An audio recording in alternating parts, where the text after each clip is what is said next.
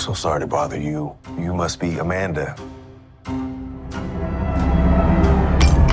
Why did you come here? In my line of work, you have to understand the patterns that govern the world. That can help you see the future. And I knew something was coming. I don't understand. What do you mean?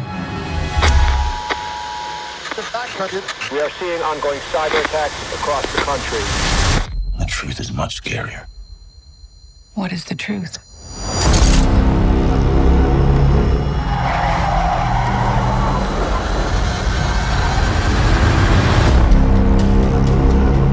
We're gonna be okay, right?